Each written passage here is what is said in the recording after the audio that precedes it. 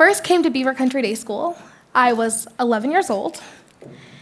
I had never had a laptop, and I wanted to be a pop star. Coming to Beaver from my local public school was a huge transition. For starters, Beaver operates mostly on computers, which means not only did I have to get one, but I had to learn how to use it. There were a lot of things I struggled with at first, like managing accounts, the Google Suite, and even things as simple as remembering passwords. There were a lot of times where I couldn't help but feel behind a lot of my classmates because they knew how to use these tools in ways that I just didn't. It was in the way that they could edit things on iMovie or the way they even knew about Photoshop and even the way they were able to change the themes on their web browsers. By the end of my sixth grade year, I've caught up. I committed my passwords to memory, I'd mastered the Google Suite, and I'd watched more iMovie tutorials than I could honestly keep count of. Little did I know, this was just the beginning. As technology became more ingrained in my education, I started to think more about how it works.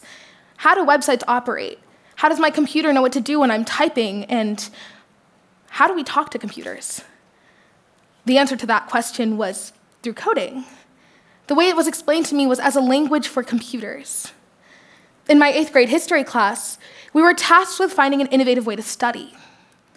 I decided I wanted to code something, an interactive study guide on an app called Pencil Code. Now that I look back, it's the easiest code I've ever written, but as we know, hindsight is 2020. The point is that in the span of three years, I went from not being able to use my Google Calendar to being able to write code. And in the span of that time, I've learned a lot about myself.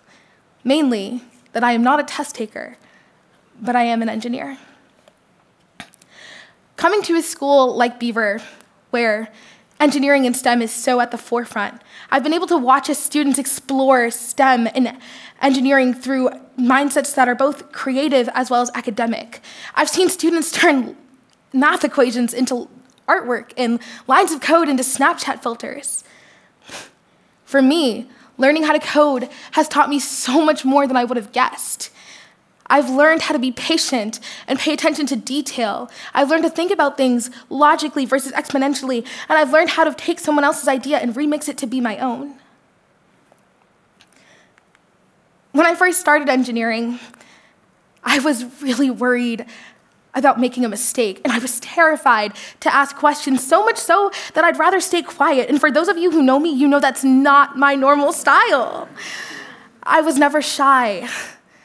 The problem was, I didn't feel like there was space for me. I didn't know how to be an engineer. I didn't know how to use a 3D printer or a laser cutter, and I couldn't even name a real coding language. And I'd gotten this idea stuck in my head that just everybody knew how to do that. And growing up, I had such a warped perception of who engineers were. I thought you had to look a certain way and be introduced to it a certain way. And most importantly, I thought you had to know everything to call yourself an engineer.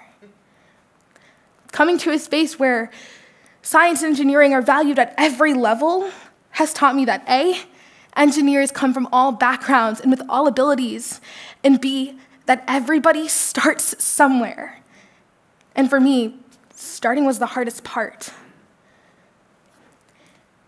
To combat this, I suggest starting early.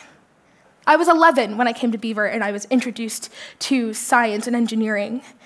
And even though I didn't get more involved until I was older, I was still really, really young when I was introduced.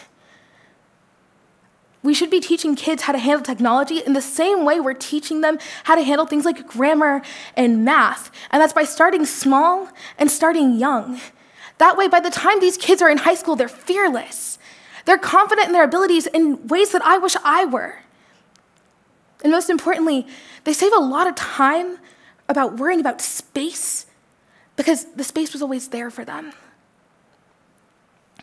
for me and for a lot of students, it's the things that we don't know that are really scary. I think that for me, learning how to be an engineer was so life changing.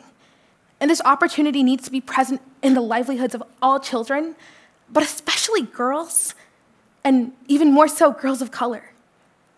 According to the National Science Foundation, 4.8% of the science and engineering workforce are African Americans. And engineering alone, it's 3.8%. In 2016, engineering degrees were earned by 2.9% of African American women. That's unacceptable. I've had people comment to me back at these statistics that maybe it's just that girls and people of color aren't interested in STEM. I propose the problem is a lack of access. How can we expect students to know that they want to code if they don't have access to a computer? How can you expect a student to become an engineer when they've never had the resources nor the space to practice? I've been able to take engineering and tailor it to myself. I've taken fashion and combined it with engineering through putting my Charlie card into a ring. I was able to join my school's robotics team and compete in a robotics competition in California called RoboSub. I was also the only girl that competed that year and the only African American. One of the only African Americans in the entire competition.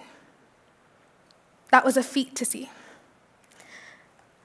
I find that through engineering and through science and STEM, there's so much that can be expressed that oftentimes gets lost in translation when students don't have access to these resources. Science engineering can be life changing, but we need to fix the system so that students have op the option to do so. My name's Dilce, and I'm an engineer.